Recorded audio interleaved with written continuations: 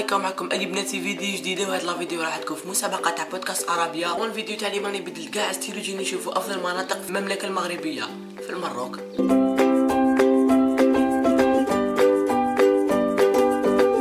وكما على بالكم Maroc تطل على زوج بحور. البحر الأبيض المتوسط والمحيط الأطلسي وبالك من هذا السبب اللي خلى السياحه تاعهم أكثر من السياحه اللي عندنا حنايا. المهم ما نطولوش عليكم نروحوا نشوفوا هذه المناطق. خيرتها أنا من الترتيب تاعي حنجي من التالي ونطلع. المهم نعاود لكم هذا الترتيب. أنا درته على حساب الرأي تاعي. بالك كاينين بزاف عندهم رأي واحد آخر مدن أفضل من هذه المدن اللي راح نهضرهم أنا.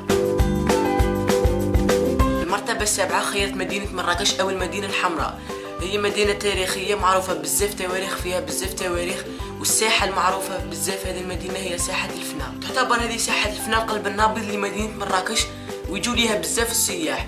وتصير في هذه الساحة العروض تاع الأفاعي والسحر والشعوذة. وتبنات هذه الساحة في عهد الدولة المرابطية. ومن المناطق اللي معروفة بزاف في مراكش هو جامع الكتيبة ومدرسة بن يوسف وقصر البادية. خيرت في المرتبة السادسة هو جامع الحسن. هو جامع جاي في دار البيضاء كازابلانكا. هو أكبر مسجد في المروك وثاني إفريقيا و13 في العالم. بداو يبنوا في 1987 وكملوه 1993 ليلة المولود. وسماوه حسن الثناء على الرئيس اللي كان حاكم هذيك الفترة.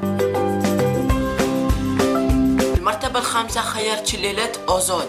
اللي جاية في إقليم ازليل وهذا الشلالات بعيدة على مدينة مراكش ب 150 كيلو. هذا الشلالات ثاني بعيدة على منطقة بني ملال ب 80 كيلومتر. أقرب منطقة لهذا الشلالات اسمها ليتيم جاميل كيما هكا. ويعتبر هذا المنطقة أكثر زيارة في هذه المنطقة. وكلمة أوزود معناتها بالأمازيغية هي الراحة. خيرت أنا في المنطقة الرابعة مدينة ورزازات اللي جاية في الصحراء تاع المروك.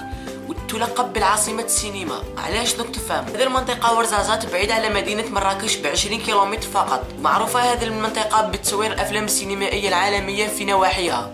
وتورنا بعض اللقطات من فيلم جلادياتور في قصر في ورزازات اسمه آية بن حدو. فيها بزاف استوديوهات تاع التصوير في هذه المنطقة. المرتبة الثالثة خيرت جبل طوبقال. جبل طوبقال هو أعلى ثاني قمة في إفريقيا بعد جبل كليمانجارو اللي جاي في تنزانيا هذا الجبل جاي بعيد على جنوب مدينة مراكش ب 63 كيلومتر. الارتفاع تاع هذا الجبل هو 4167 متر. ويجوا ليه السياح من كاع العالم ويجوا ليه السياح اللي يحبوا يتسلقوا الجبال. في الشتاء والربيع والخريف يكون معمر بالثلج واللي يعطي منظر شباب بزاف. المرتبة الزوجة خيرت مدينة الزرقاء أو مدينة شفشاون.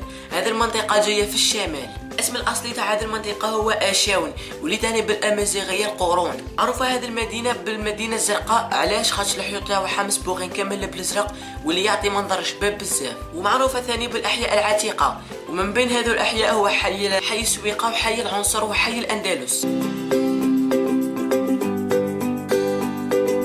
المرتبة الأولى خيرت إيفران. هذه المنطقة جاية بين فاس ومكناس وتعتبر هذه المنطقة من أقدم المدن المغربية. معروفة بزاف هذه المنطقة بالبرد والشتاء surtout في الشتاء والخريف واللي يعطي منظر بزاف شباب. وتجذب ثاني السياح بشلالاتها المائية اللي يجوا يزوروها من كاع بلدان العالم. تعتبر هذه المدينة من أنظف المدن العربية والثامنة عالميا وهذه حسب دراسات بريطانية وسويسرية ويجوا ليها بزاف السياح في فصل الشتاء والربيع. ويجوا ليها بزاف السياح كيكون طايح الثلج باش يمارسوا الرياضة تاعهم الجليد والتزلج ودوك الحفايس.